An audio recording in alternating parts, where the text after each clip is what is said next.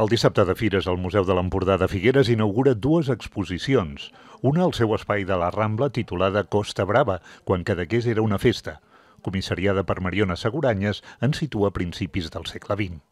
La proposta va ser aprofundir per què Cadaqués és, és un nucli artístic tan important i rellevant, eh? que és el que ha fet que es convertís en un nucli artístic de primera línia com realment és. L'expressió de quan Cadaqués és una festa ve del Joan Josep Terrats, en el capítol quan parla dels Pitxot, dic els Pitxot, van convertir Cadaqués eh, en una festa continuada. No? Doncs em va semblar que era un títol preciós per poder explicar això.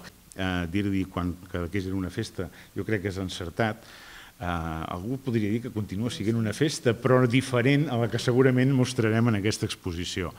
D'altra banda, la sala L'Escorxadors presenta el Quixot de Figueres, dels molins de vent a la discoteca, una proposta del grup d'alumnes d'enriquiment de l'Institut Ramon Montaner. A partir dels plafons que decoraven la sala de ball, obra de Joan Jové, estructuren l'exposició en tres àmbits. El que ens ha permès aquest projecte és també treballar des de tres grans àmbits, eh, que són l'artístic, eh, després també hi ha el literari i el científico-tecnològic.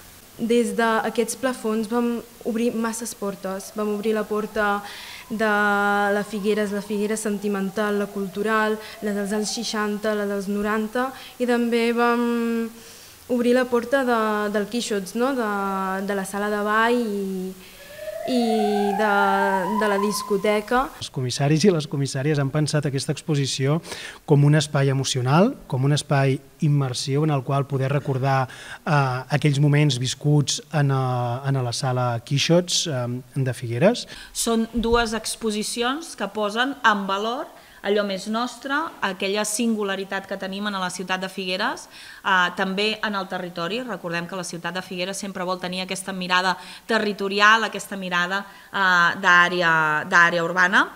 Aquestes dues exposicions estaran obertes fins al mes de setembre i comptaran amb activitats complementàries.